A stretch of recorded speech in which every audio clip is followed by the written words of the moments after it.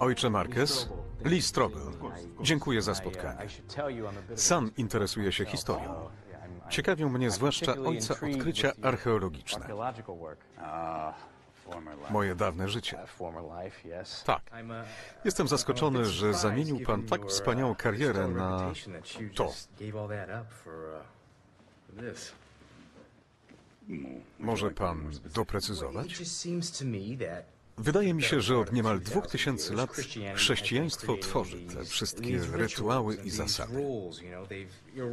Zbudowaliście te wymyślne i bardzo drogie katedry, żeby wesprzeć wiarę, która jest zbudowana na piasku. A mimo to wszystko to nadal stoi, bo ludzie przekazują sobie te same historyjki. To, że coś napisze i zakopie w ziemi, nie czyni tego prawdziwym. Zaczynam rozumieć cel pańskiej wizyty. Wielu ludzi twierdzi, że widziało Jezusa po jego ukrzyżowaniu, a niektórzy nawet o tym napisali. Moje pytanie brzmi, skąd możemy być pewni, że te manuskrypty są wiarygodne? Robiąc to, co z innymi dokumentami, porównując ze sobą znalezione kopie.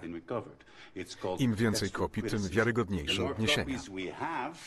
Możemy wtedy ustalić, czy to, co mówi oryginał, jest wierne faktom historycznym. Im są starsze, tym lepiej. Weźmy taką Iliadę Homera. Homer's Iliad, for example.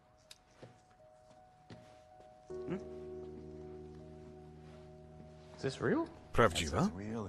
Tak jak macedońska ziemia, z której ją wykopałem. Przez wieki. Grecy uważali ją za swoją Biblię.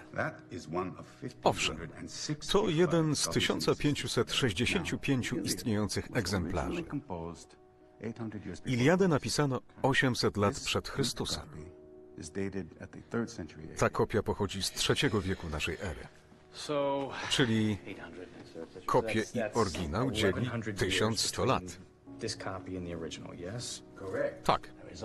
I istnieje tylko jeden zbiór starożytnych pism, który ma więcej potwierdzonych kopii od Iliady.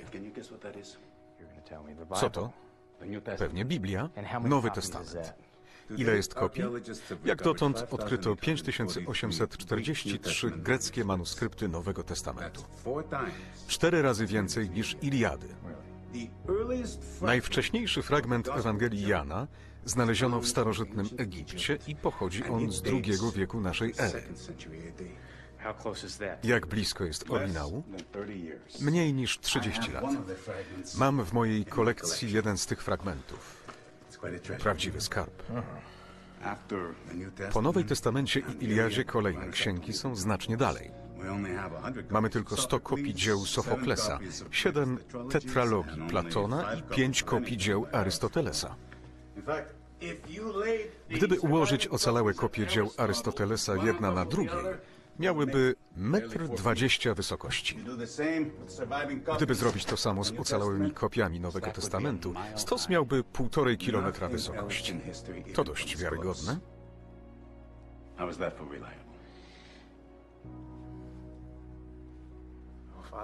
Dał mi ojciec sporo materiału do przemyśleń.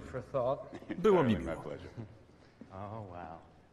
Całun turyński. Fantastyczna reprodukcja. Oryginał znajduje się we Włoszech, w katedrze świętego Jana Chrzciciela. Nikt nie udowodnił, że była to szata pogrzebowa Chrystusa.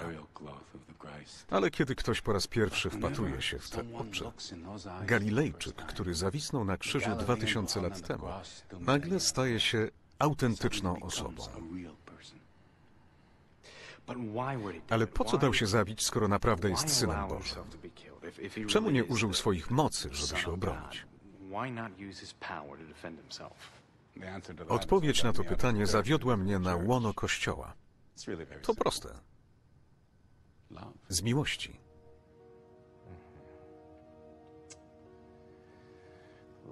Z miłości.